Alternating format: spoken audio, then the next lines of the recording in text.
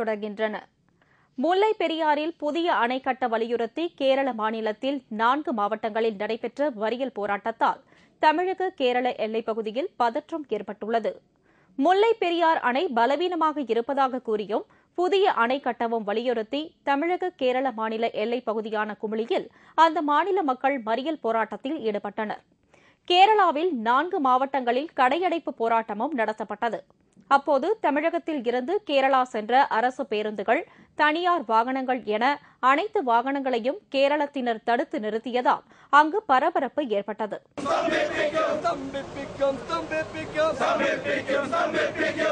இந்த போராட்டத்தால் சபரிமலை சென்ற ஐயப்ப பக்தர்களும் சிரமத்திற்கு உள்ளாகினர்.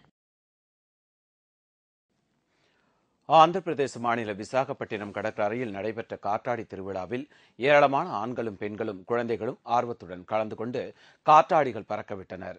விசாகப்பட்டினம் கடற்கரையில் வால்டேர் ரோட்டரி கிளப் சார்பாக காற்றாடி திருவிழாவிற்கு ஏற்பாடு செய்யப்பட்டது.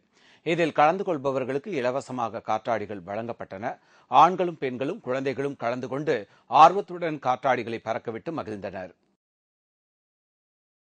விருதுநகரில் இரட்டையர்களுக்கான திருவிழா சிறப்பாக நடைபெற்றது.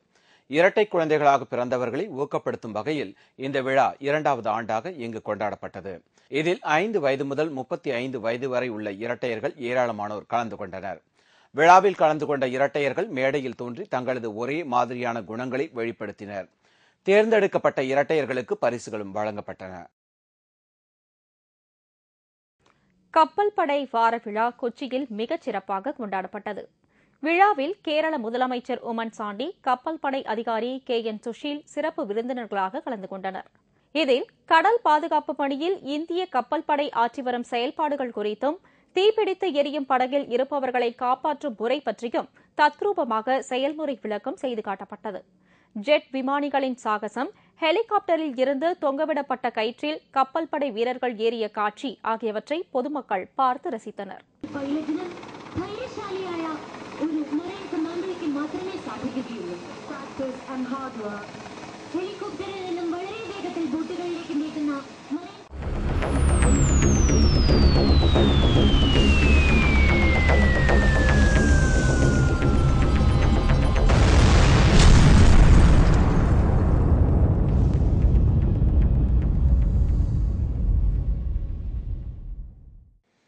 ஆச்சரியம். ஆனால் உண்மை. வாழ்க்கையில் நடைபெறும் சில சம்பவங்கள் மனிதனின் சக்திக்கு அப்பாற்பட்டவை. நிலநடுக்கம் சுனாமி பேரழிவு மின்னல் தாக்குதல் போன்றவை இயற்கை அழிக்கும் தண்டனையாக கருதப்பட வேண்டியவை. ஜப்பானில் ஒருவர் கார் ஓட்டிச் செல்கிறார். திடீரென்று நிலநடுக்கம் ஏற்படுகிறது. இந்த இயற்கை சீற்றத்தை தொடர்ந்து சுனாமி ஆழி பேரலை நகருக்குள் நுழைகிறது. கடல் வெள்ளத்தால் நகரம் சின்னா பின்னா படுகிறது காருக்குள் இருப்பவர் உயிரை கையில் பிடித்தபடி இந்த காட்சிகளை படமாக்கி உள்ளார்.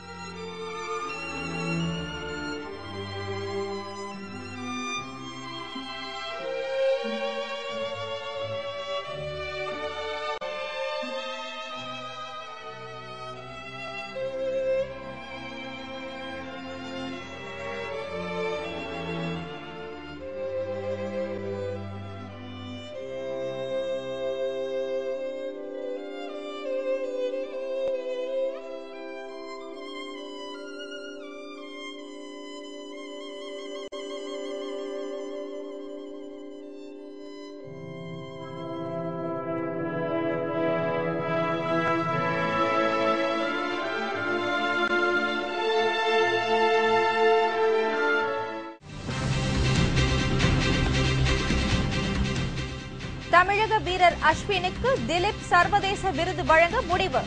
வெஸ்ட் இண்டீஸுக்கு எதிரான தொடரில் சிறப்பாக விளையாடியதற்கு பாராட்டு. விவரம் இடைவேளைக்கு பிறகு.